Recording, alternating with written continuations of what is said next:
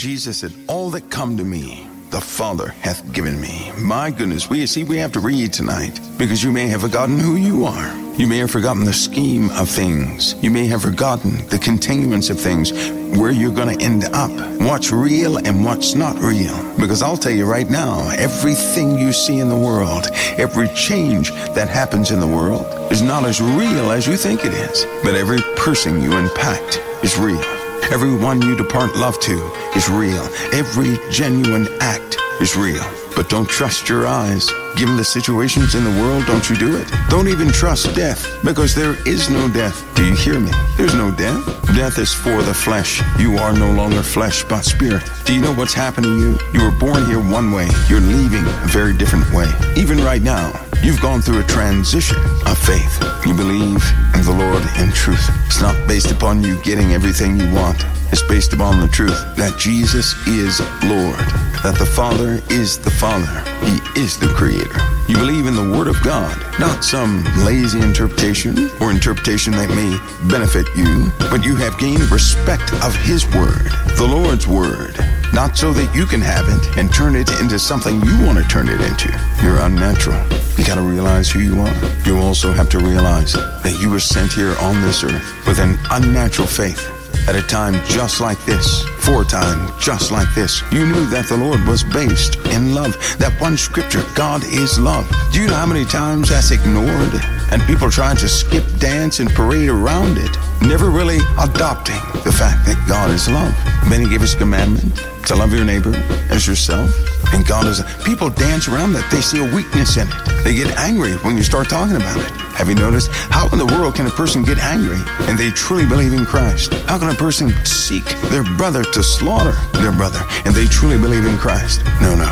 That's Antichrist. Oh, yes, it is. The warping of the Word of God to suit somebody's own paradigm is an antichrist spirit. And you're in those days. Even the apostles spoke about the antichrist. Those that deny that Jesus came in the flesh. Well, how do you deny that? By not forgiving your fellow man. All those who fail to forgive are of an antichrist spirit. That's why all hatred will be wiped off the face of this earth. But all vessels who have ever given these things homes and agreed to keep them shall be wiped out with it. I'll tell you something else. Evil must rise. God said so himself. But people, they don't understand what that is. Why in the world would God let evil rise? And that sounds backward, doesn't it? You have a lot of people out there right now saying, no, we, we're supposed to destroy evil. Really? You don't destroy evil. You're to assist to call your brothers and sisters out of the evil. They must make a choice to be free of the evil. You cannot make that choice for them. Because if you free them from evil, but evil is still in their hearts, they're their condition is going to be worse than the first. This is not Robin Hood, nor is it Hollywood. This is real. As a person desires to be free, so we can assist. If they choose to be free, we assist. They must choose. We live as examples. Isn't that an honor? How many of you would be deeply honored to be an example selected by the living God put in this earth of his gospels? How many of you want to be an example of his gospel? Many are saying, Yes, I would.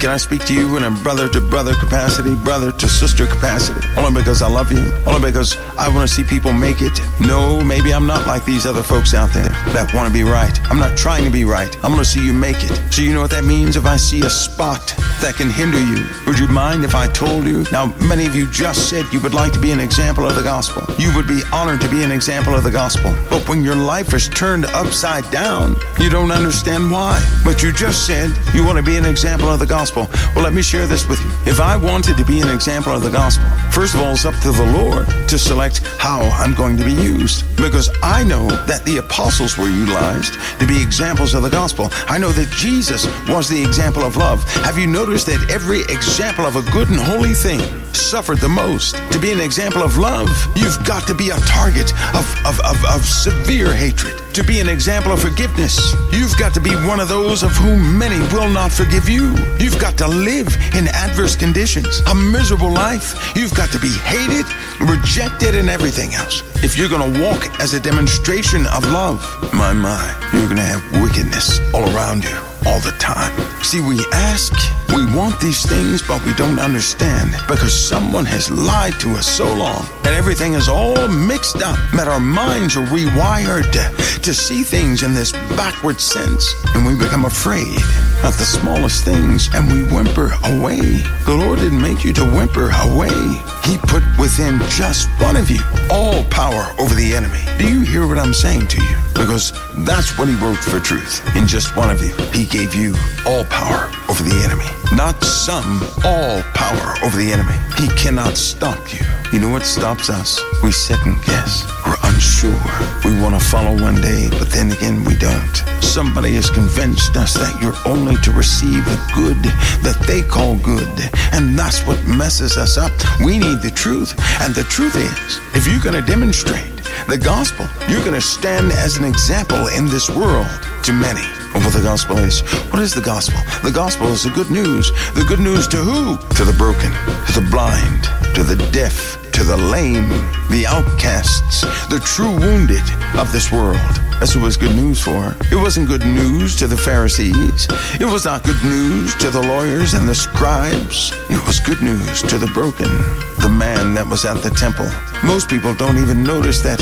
Where were the elders of the community during that time? You guys didn't notice where the wounded were? They were at the temple with their beds. They lived there. They could no longer work.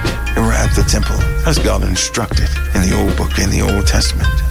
Oh, that's been lost. I would go so far as to say is that people have changed so much in the Word of God that hardly anybody understands the structure that really was back then. It's right there in your Bibles if you would just read it yourself. I'm talking about read it and not let anybody else's voice enter into your mind. Read it for yourself.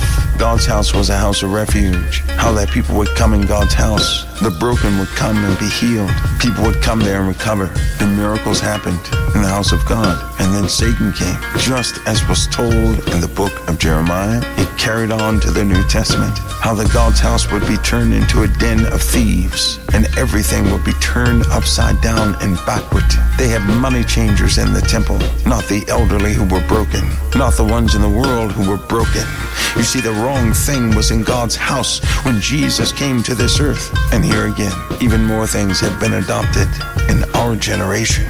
So much so, it is very difficult to tell a person what spiritual sight is. They still think it's mystic. It is so very difficult to tell somebody what the spiritual realm is. They still think it's just like somebody has described to them who's not even seen it themselves. Modern day man does not even know that demonic entities are playing, tricks on them. A great reversal is about to take place. All who thought they commanded the spiritual realm, when the stops are pulled out and the truth is made known, many will shriek in horror because in their pride, they walk forward thinking they banished something under their own power. By their pride, they operate. And believe me, they're going to pay the price for that pride. Love is light, it banishes, not man. Love does not hate, doesn't do violent things. Believers, it, it, it is a fight.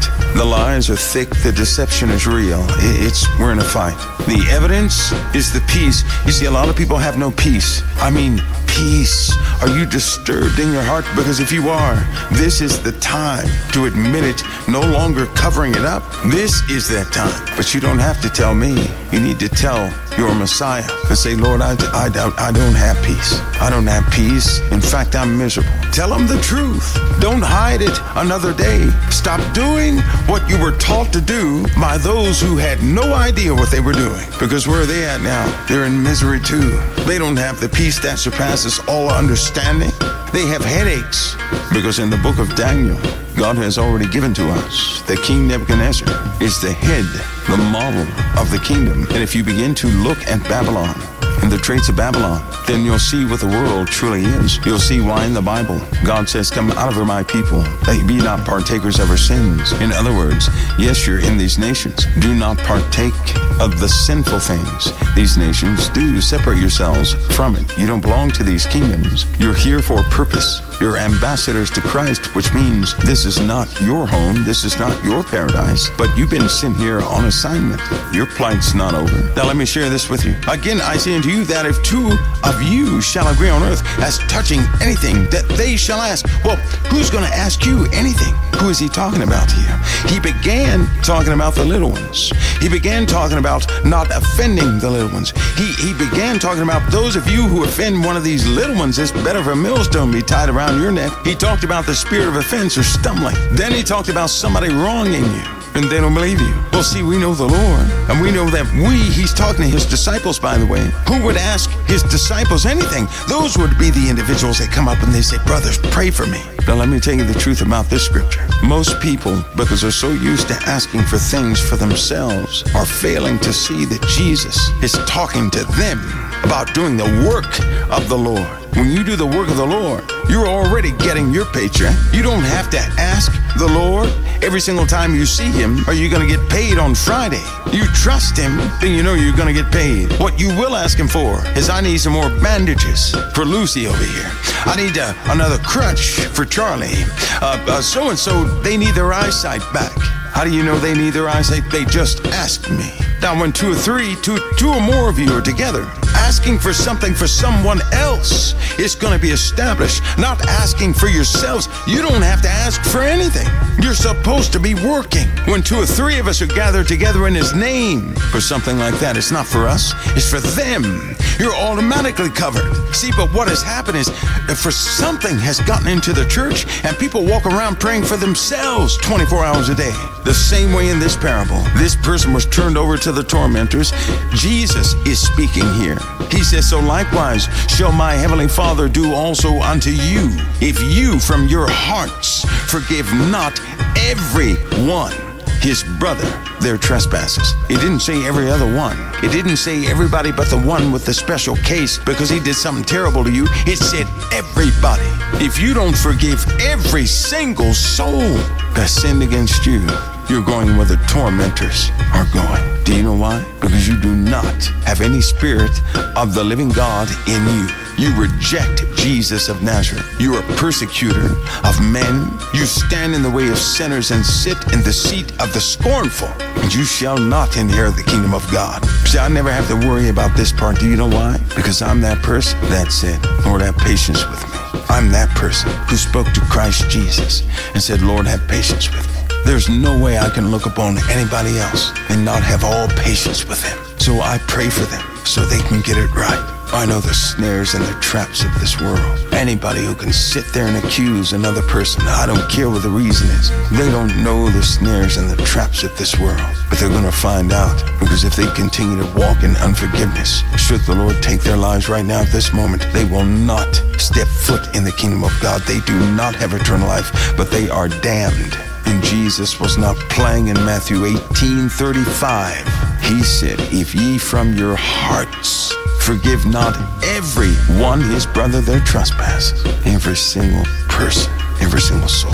See, these folks that walk around saying, Oh, you got time. No, you don't have time. You have this moment. Because if you think you have time, if you really decide to hate them another minute, how can the Spirit of the Lord be within you who gave his life? For such. The very ones you won't forgive, Jesus gave his life for out of love. How can you have the Spirit of the living God within you? If you want that turned around, you better find him now.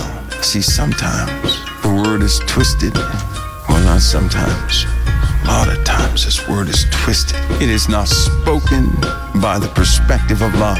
That's our Savior's perspective. That's his view, his love. Do you see how these things can be lost in this day and age? When I read to you guys Matthew 18, 19, it sounded strange when you heard the word they because we're used to asking for things for ourselves when the Lord requested things for other folks. And we are to walk as he did, requesting things for other folks. See, we belong to Christ. And why do we doubt him so much? Why do we say in our hearts he won't take care of us? That we have to remind him to take care of us? I never have to remind Christ to take care of me. Folks, don't let that darkness corrupt the word of God in you. Don't let it destroy you. Don't let it consume you. If it can, it will. If you agree, it will. Please don't agree with it, but agree with love and with truth. Listen, the Lord's faithfulness is unmatched. His resolve is unbelievable. His love for you is greater than you're able to comprehend. He knows your situation. Choose him in all ways. Do so from the heart. Get your words from Jesus and stand up during these times for someone. Has someone stood up for you? The Lord's blessings, even his hand is surely upon you. I hope that in your heart you would love to see his hand upon others. God bless each of you.